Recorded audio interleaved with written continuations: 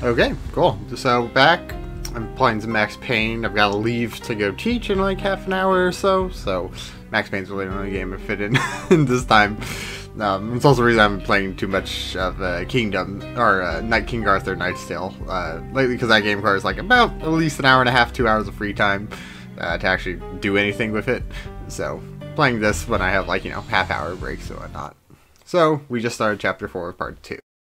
So we should should be able to hopefully knock out this part at the very least. So we have to go. Oh my god.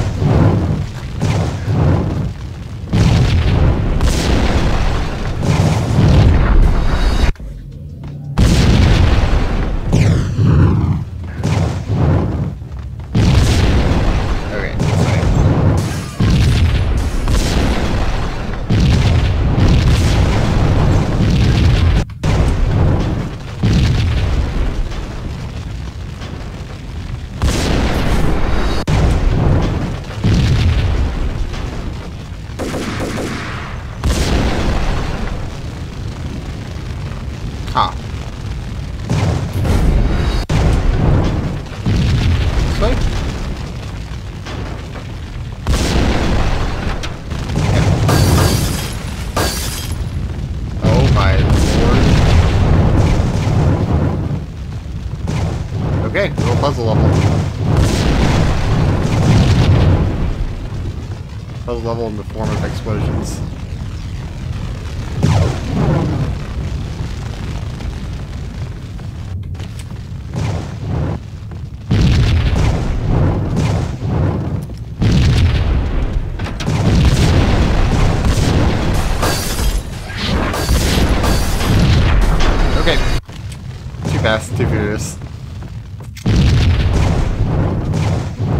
Exactly what I expected this morning.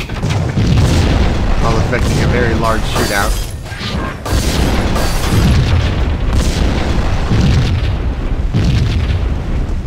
What do I do about that?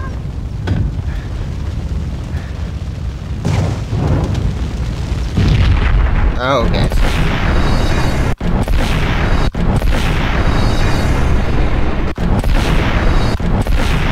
I just screwed myself. Oh my god.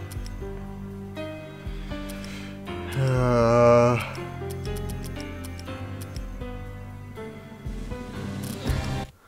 Okay. Careful with the quick save there.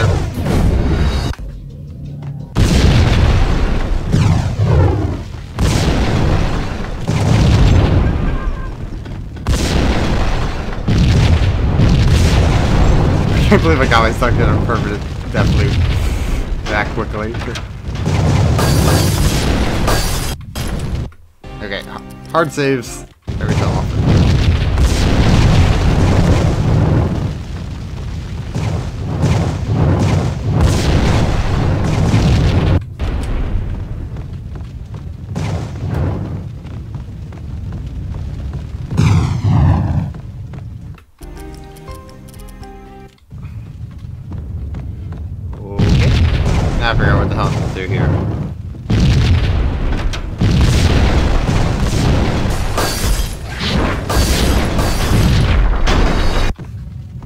Okay, so you have to stay behind the trail of explosions. In that case.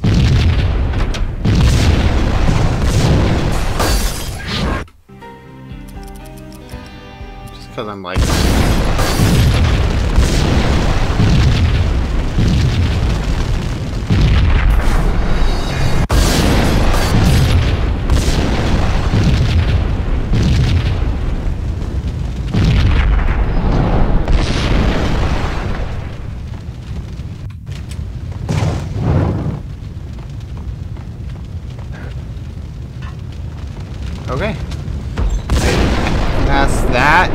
that, there's guys in here. Punchinello was burning to get me. The feeling was mutual. He was trying to put out my flames with gasoline. Quite literally.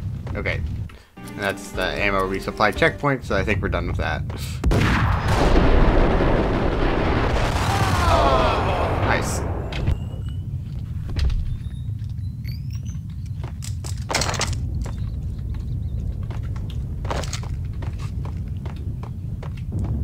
The mobsters have been guarding a real treasure. The way out of this disco inferno. There he is.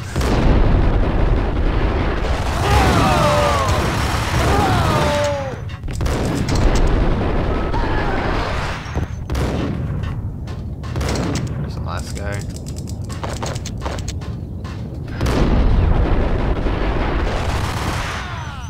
There we go. Mission accomplished. That's bread ammo, shotgun ammo, steak painkiller. Okay, cool. Use the Ingrams a bit more. Oh dear lord.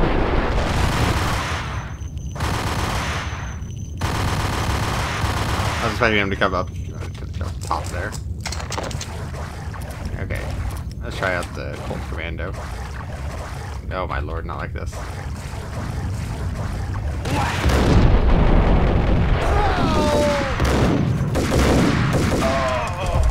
Hits hard. I like it.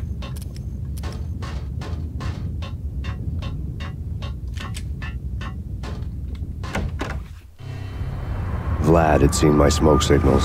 The Mercedes was revving to go, almost drowning out the Banshee wail of the sirens. You coming? We'll drop you off at the Punchinello Manor. Sounds good to me. When this is over, look me up. I could use a professional like you. I'll keep that in mind. Yeah, I mean, Max pretty much proven himself to be like the most dangerous hitman. Okay, chapter 4 was super short, so I think we can do chapter 5 too. Or at least The night groaned with cold. The garden lights flickered nervously. In their light, the falling snow was dead white before the darkness ate it up. I had heard the stories. The trio were mad dogs. They'd have hung the heads of their enemies over the manor gates if the capo had only let them. Punchinello wanted pain. He'd see the pain. the trick in my situation was that there was no trick, no matter what the movies tell you. No rules, no secret mantra, no roadmap. It wasn't about how smart or how good you were. It was chaos and luck. And anyone who thought different was a fool. All you could do was to hang on madly, as long and as hard as you could. Someone had graciously left the back door open for me and killed the guards. My money was on Mona. I knew the trio would be standing between me and Punchinello. I had read their rap sheets, thick as phone books. No one would be walking out of here alive. And of course, The numbing cold of the broken night had followed me in. Upstairs, the trio tangoed down the manor halls to the silent rhythm of their murderous hearts. The blood of their victims rust on their lips. Vince Mugnano, Pilot Providence, aka Big Brother, and Joe Deadpan Salem. The pistol was a frozen lump in my hand, piercing the skin, gnawing me to the bone. God, that entire. I- I'm sorry. That entire. Like, sequence there. Was so good. Like, in terms of description and just, like, setting the scene. I always really appreciate how, like, all of the Foley work and that stuff in here is.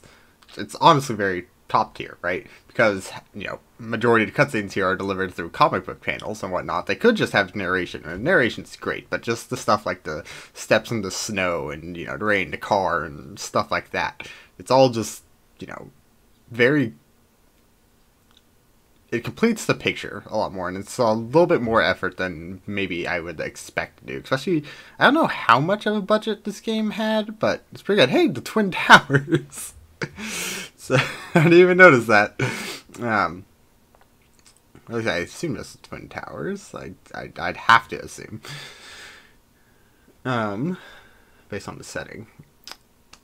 Okay, cool. But anyways, I just needed a little rant about that. But just the all the descriptions and just the oh that part about you know like to the rhythm of their evil heartbeats and stuff like that it was and you know their victims' blood rusting and just you know all absolutely fantastic. I just really appreciate when the game actually gives the like comic book aspect a time or and the comic book aspect itself is you know more of a noir novel or noir film level nar- narration and that stuff, which is then translated into comic level, right? So you get these huge text bubbles and whatnot, and then it's being translated into a game. Anyways, back to music volume up. I just had to say that was an absolutely fantastic scene setting. Alright, and we have 20 minutes to try to complete this. Alright.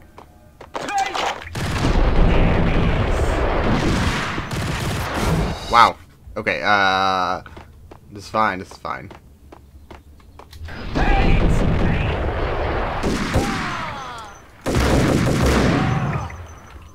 Okay, you can fire just semi-auto pretty well.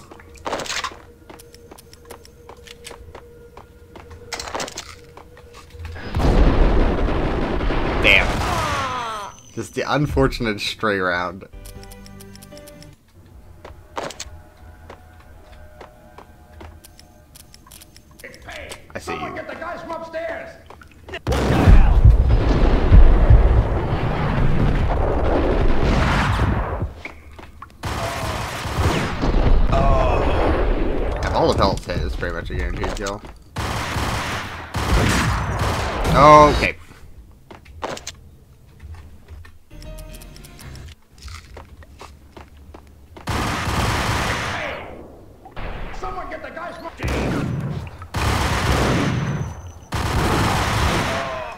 The AI like retreats when in thinks it's in a dangerous situation.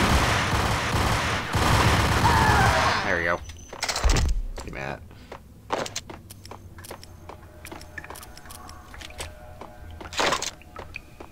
Beretta, we got some Ingram ammo. Yeah, we're full. Might as well keep using Ingrams. I need to keep an eye out for the little boxes and that stuff. I've been ignoring those for the entire duration of the game, and they apparently have items. Okay. There's an ant on my arm. No, never mind. It's just my hair. I'm hallucinating. It's fine. It's fine. Pilot, he's here! It didn't take me long to run into the trio. Oh dear lord. Okay, what am I staring at? On here. The word on Lisa Punchinello was that she was a bit of a witch. The tarot cards on the kitchen table fit the picture. They weren't my kind of cards, but I was willing to take a crack at the hand Mrs. Punchinello had dealt. The tower The first card was the tower. Maybe that was supposed to be the manor. It got easy after that. The devil was the master of the house, and death was me, coming for him. Impromptu tarot reading from Max Payne. I like it.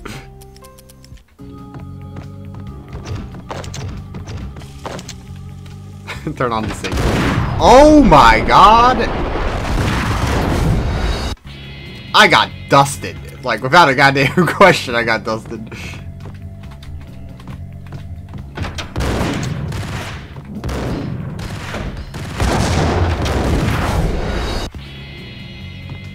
Can we go this way? Nope.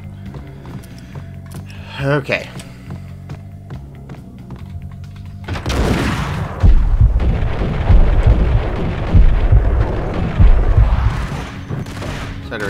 Reduce the firepower.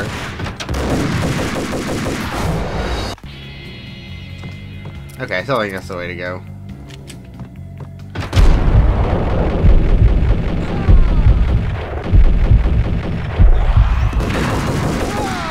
One down, two to go. Okay, uh, note to self. Yeah, how? Oh my god! I'll talk after the dead. Okay. That went well. Something I really like, and I know it's like really kind of a one-trick thing that the AI does, but you know, for how old the game is. Right, right, how many like of these actual table barriers and that stuff you actually will see the AI put up and that stuff, and right, it like makes sense of what you would do in this situation. At least for guys who are a little bit not just the complete junkies. And also, they'll take up cheeky ass positions. Especially if they have a shotgun or something. Like, they'll just be like, you know, let's hide right by the door. That way I can just blow his goddamn brains out when he enters. And it works a decent amount of time, honestly. Okay.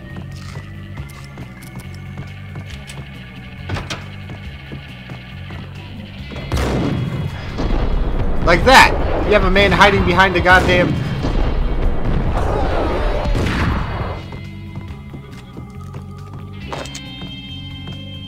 My lord. Also, I like the I like the soundtrack for this area. Alright, let's get the Berettas out.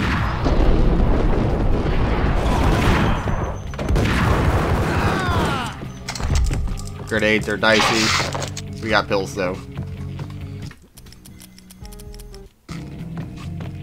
God, I can see how this game would be absolutely miserable on the higher difficulties, though. Like, man.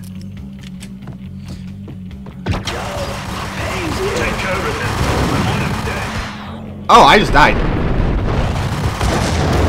I live? Never mind. Fortunately, there goes all my healing I got, but look at this guy just sitting up here, replacing a vase. Yeah, I do like the AI placements in this game. Pretty, pretty, pretty good. They, they're in areas that, like, I don't know. If I were, like, defending against the stage, I would sit in the goddamn most cheeky location I could to try to get the guy, because in reality, that's kind of all you need at the end of the day. Especially since there's, like, no armor or anything, or you can get just a cheeky shot on a guy. Uh, that's pretty much wins you the conflict. Especially if there's one guy. Two down, one to go. Okay. Okay. Uh, I ain't doing so hot on health.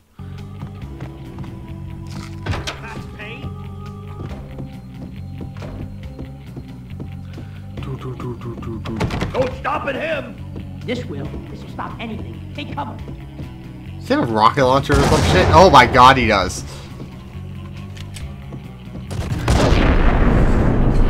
I'm alive?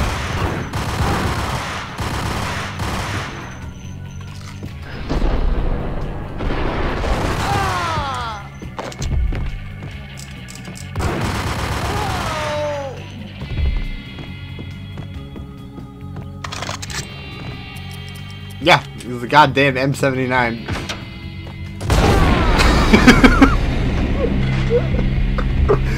okay, so the reason I did that is because a lot of explode.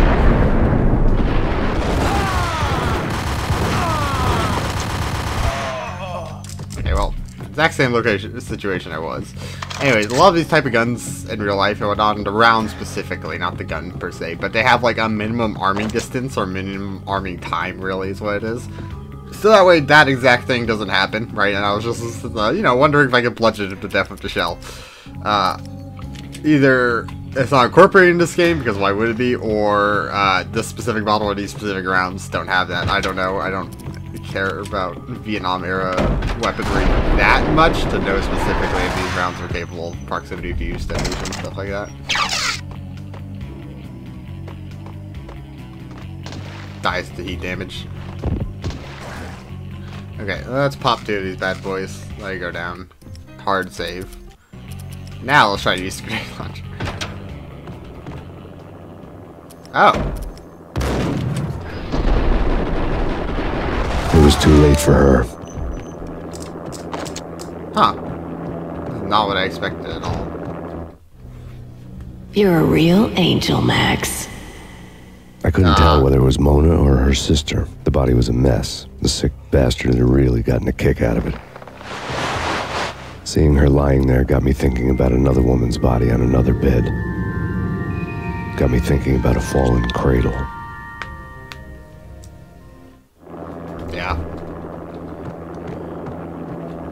So, for anyone who has not the best memory, that's the girl we met at the end of part one. Or her sister. Or it's a body triple. ah, yes, the exact knowing when Max you can get Payne. the call. Talk to me. Alfred Woden, you've got company. An armed helicopter just landed on the manor grounds. Oh, dear lord. You must hurry. The more the merrier. Vince Mediano. There we go.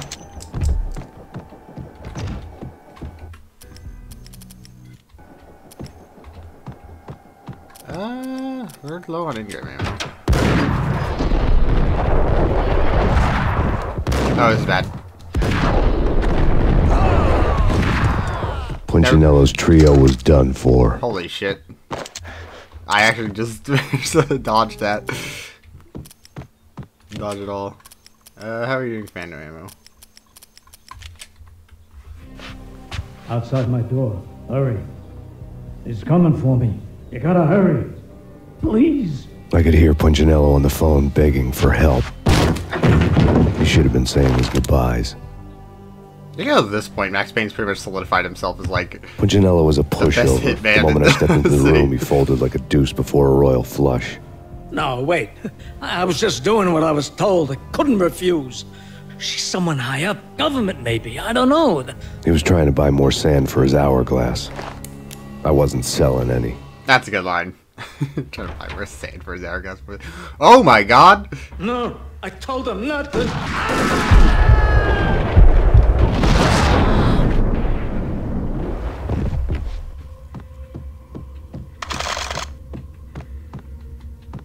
Well, I was gonna kill him anyway, so that's fine. Anything special in here? Nope. Okay. Well, Max didn't get to kill him. Nope, I'm done. Drop it. Oh Don't my move. lord, I like the Game exclamation over, mark. Max Payne. This is the end of part two? I could tell when I was outgunned. It was time to take another beating. No, my god, Hillary Clinton. The mystery to witch was a real barracuda. Trouble on dagger heels, a smoking assault rifle in her hand, and an army of killer suits behind her. How sweet. I get to kill two birds with one stone. Sooner or later, it was going to catch up with you. Mr. Payne, it's time to show you the benefits of my brew. Be a good Good, boy Rugby. now. You'd find that Lady Luck was really a hooker. Ah! You were fresh out of cash. Why? Okay, we're on part three. Okay, finish part two. Part two is short. Gentlemen, we're done here. Take me to Cold Steel. She had just given me an OD of Valkyr. I could feel green fire eating my brains. But why? They turned to steam. They did a fade on me. I'd never had a chance. The witch had got me just as sure as if she put a gun to my head and pulled the trigger. Like, why not just The shadows rushed me, bruised mugshot faces hungry for revenge. They knew my weak spots and closed in for the kill. The floor turned into a vortex of green blood. I fell. That's nice artwork. The Flesh of fallen angels. Alright, I'm going to end this here. We can continue on Max's drug trip afterwards, some other time. Uh, cool little end to the chapter, right? cleaned up the mob bosses and all that. Or not the chapter, wrong. Also end of the chapter, end of the part. Why would she just overdose you on Valkyr instead of just shooting you dead to rights? Like, if it was to there, there's no sense in it being like a more believable murder or a believable death if someone to investigate, right? Because you just got done killing an entire like compound, pretty much. It wouldn't be unexpected that if you know to find the guy, the instigator's body, also riddled with bullet holes and that stuff. so you know he had died during the thing and whatever. So like I feel like there's some ulterior motive or something going on, or it is kind of a supposed to be a kind of fuck you because right potentially she knows he's an undercover cop and whatnot and this is also potentially the drug that the people were who you know jumped up and killed his family and that stuff are on and it's kind of just supposed to be like a disrespect kill or something. I don't know. A bit weird. Or maybe it's plot contrivance contrivance. Who knows? All right we're this here